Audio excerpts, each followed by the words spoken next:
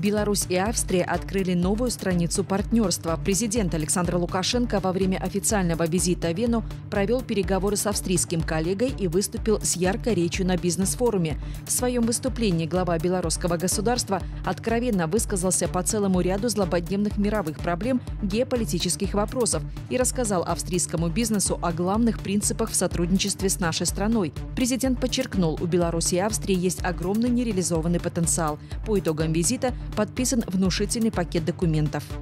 О развитии конкуренции на отраслевых рынках будут говорить в Минске на международной конференции. Зарегистрировано более 160 участников из России, Австрии, Латвии, Румынии, Китая, Украины и Молдовы. На панельных дискуссиях планируется обсудить ряд актуальных тем, в том числе развитие конкуренции в здравоохранении, на рынке продовольствия, товарные знаки в союзном государстве и ЕАЭС. Ожидается подписание и меморандумов о сотрудничестве в области конкурентной политики между Белорусским министерством антимонопольного антимонопольного регулирования и торговли и такими же ведомствами из Австрии и Румынии.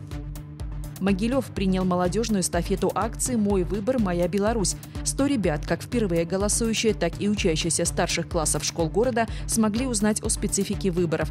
Акция посвящена началу досрочного голосования в парламент страны. По всей стране до 17 ноября, дня выборов в парламент, пройдет более 200 мероприятий эстафеты.